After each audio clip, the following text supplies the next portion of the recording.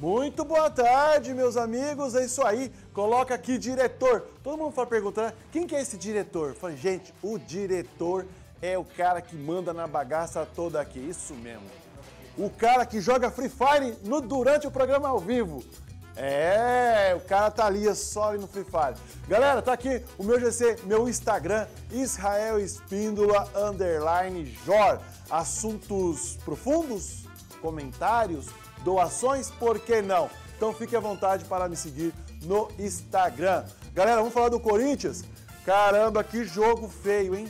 Foi um jogo feio, o Corinthians estava perdendo, mas conseguiu um empate contra o Juventude. A derrota parecia irreversível quando o Roger Guedes se apresentou para cobrar a falta perto da lateral.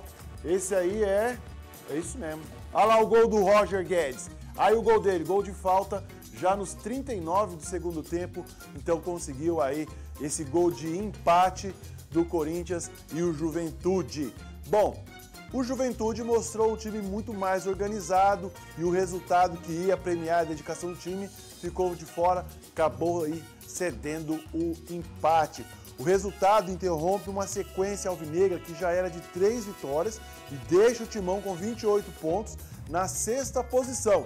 Já o Juventude chega à sua quinta partida sem derrotas, com 23 pontos e fica na 13 terceira posição. Essa foi a 19 rodada do Campeonato Brasileiro que teve ontem, feriadão de 7 de setembro.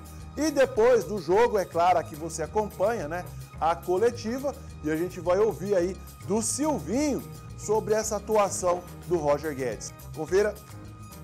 O Roger é um atleta, assim como tantos grandes atletas, que eles têm a capacidade de jogar em uma ou duas funções. A gente tem falado isso e é uma absoluta realidade. É, o Roger começou pela direita, a sua trajetória e sua passagem é, teve um outro um outro segundo período já pelo lado esquerdo. Assim, quando ele foi para a China, ele teve jogando também pelo lado esquerdo e muitas partidas como atacante, mas mais de 75% dos jogos desse atacante ele não é uma referência, não era o primeiro, é um segundo atacante uh, por trás é, do atacante referência do time. Mas é um atleta que pode jogar sim, é, pelo lado esquerdo, pode jogar pelo lado direito, onde ele começou a carreira dele. O começo é pelo lado direito. E, obviamente, centroavante e até um segundo centroavante, como ele fez. É, um segundo homem de ataque, digamos assim, como ele já fez na China. É um atleta bem completo que pode ser usado em algumas funções diferentes. Tá aí então o Silvinho, técnico do Corinthians, falando da atuação aí do Roger Guedes. Galera, acabei esquecendo, ó. Sexta-feira teremos presentes para doar a vocês, para sortear para vocês, não é doar, sortear. Então, tábua de churrasco, faca e também essa térmica. Para participar é simples, é fácil e você já sabe. Basta comentar aí eu quero ganhar e compartilhar a nossa live, tanto da cultura quanto também a live do JP News MS. Daqui a pouco eu vou dar uma olhada lá no meu zap, no meu celular, para ver quem que é a galera que está assistindo aí o, T, o RCN Sport. Eu ia falar TVC, não é TVC, TVC já acabou. Ó, a outra partida que aconteceu ontem foi a do Fluminense e a Chapecoense. Flusão marcou 2 a 1 nesta terça-feira na partida na Arena Condá e saltou para a sétima posição da classificação aí da Série A do Campeonato Brasileiro. Bom, essa partida também era pela 19 rodada né, da competição. O tricolor chegou aos 25 pontos. Já o Verdão do Oeste, tá feio, hein, meu filho?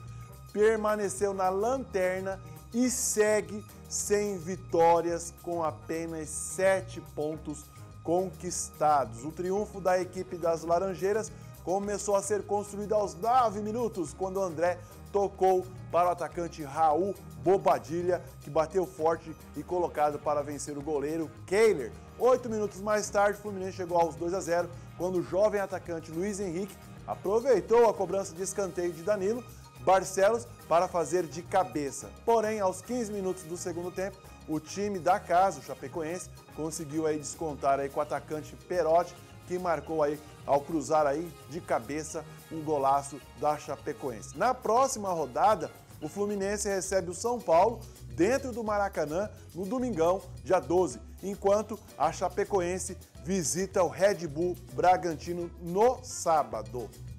E claro, a gente ouviu também o técnico Marcão falando da atuação do Fluminense. Vamos lá? Vamos conferir? O primeiro tempo muito bom, é, daquilo que, que combinamos, daquilo que estava proposto a se fazer, de ter um controle de jogo, domínio do jogo. Aí no segundo momento, no segundo tempo, a equipe da Chapecoense arriscou mais, colocaram mais um homem de frente e nossa equipe não conseguiu manter a posse de bola. Foi aí que a gente igualou o jogo com eles, ficou um jogo franco, aberto e pressionaram a nossa equipe, empurraram a nossa equipe lá para trás. É lógico que a gente queria é, manter a, os dois tempos, jogando com qualidade, que é a posse da bola, é, a aproximação do, do companheiro. E, mas no segundo tempo não conseguimos, foi, não conseguimos manter essa concentração. É, isso a gente tem que melhorar no decorrer da, da competição, a gente manter o nível é, com esses dois tempos, é, jogando em, em, alta performance. Vamos tentar já corrigir isso já para o próximo jogo, para ver se a gente consegue manter esse nível de, de concentração para os dois tempos. Mas assim, é, valorizar o, a vitória, que foi de grande importância. É, no momento que precisou sofrer, nossa equipe se dedicou ao máximo, correu junto, correu para trás junto. É importante sair daqui com esses três pontos. Tá certo, o time do Fluminense, realmente eu não entendo o time do Fluminense, não empolga. É, flusão, hein? Deixa eu mandar um abraço aí para meus amigos. A Sara Cristina tá aqui comigo, o Ivanilson lá da Vila Piloto 2, a Fabiana Silva lá do Novo Oeste também tá aqui e meu amigo Juninho lá do Santos Dumont. Inclusive, ó galera, no próximo bloco tem campeonato aqui, ó, Varzão. Bola rolou lá no estádio do São lá no campo do São João. Vou para um rápido intervalo, volto já.